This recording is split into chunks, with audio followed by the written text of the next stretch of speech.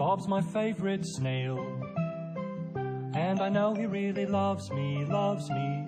He's the classiest snail you could ever hope to know. Oh, oh, and I wish he didn't smell. But I know he can't help it, help it. He's lived in the same shell since I got him long ago. And if I ever need him, need him, all I have to do is call him.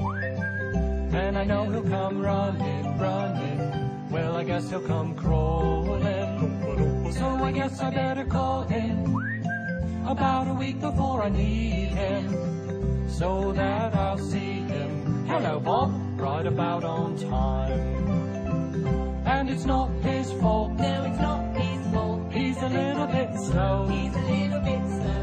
can't help it if he's cold. He can't help it if he's cold. Cute little itty bitty teeny tiny, slippery, slimy, pokey and a